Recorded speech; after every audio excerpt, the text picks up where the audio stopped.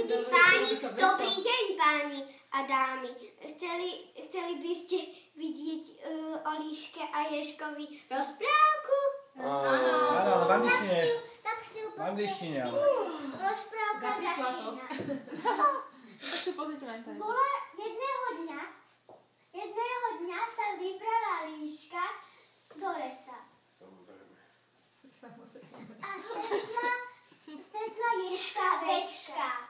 Ale ona sa ho zrakla a rýchlo utekala domov. A ja som len chcel jej ponúknuť jablčka a, Čo teraz urobí? a, a oriešky a ona utiekla.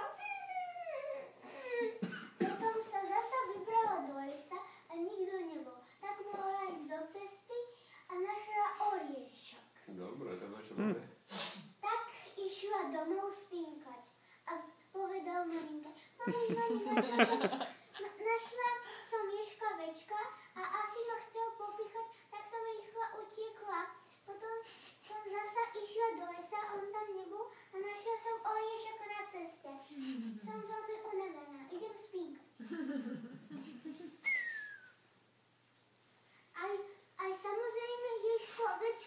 večko išiel spinkať.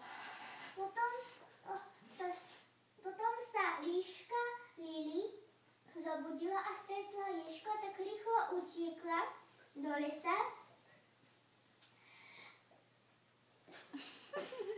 Á, Olga, čo robíš? It's okay, it's okay. Again. No, no, that's not again.